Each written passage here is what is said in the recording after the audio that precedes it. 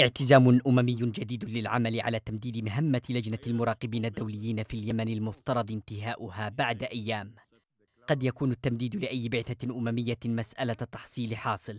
لكن اللافت في هذه اللجنة التي جرت الموافقة عليها من قبل مجلس الأمن في القرار 2054 في يناير الماضي والتي تتولى مهمة إعادة الانتشار في الحديدة. يتمثل في أن المراقبين الخمسة والسبعين سوف تنتهي ولايتهم ولم تطأ أقدام غالبيتهم أرض اليمن باستثناء خمسة عشر منهم.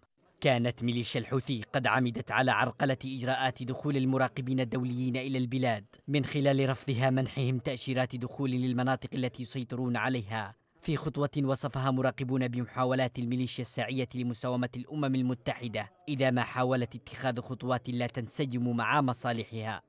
وعلى الرغم من عرقلة الميليشيا لتأشيرات دخول بعثة المراقبين إلا أن رد الأمم المتحدة كان خجولا. حين لم تشر إلى من يقف وراء ذلك مكتفية بالقول إنها لم تحصل على أذونات الدخول لأعضائها. الحكومة الشرعية بدورها أكدت أنها تتعاون بشكل كبير في تقديم كل ما يدعم الأمم المتحدة وفرقها متهمة الميليشيا باستحداث العراقيل وهو ما يؤكد عدم جنوحها لتنفيذ اتفاق الحديدة.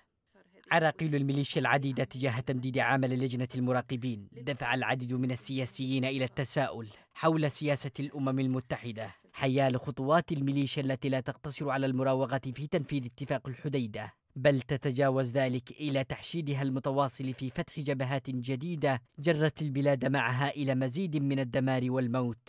لا يبدو التمديد لولاية بعثة المراقبين الدوليين مجديا في ظل عجزها عن الوصول إلى الأراضي المفترضة لبدء مهمتها وفي ظل عجز من سبقوها إلى الداخل في تنفيذ جزء مما اتفق عليه.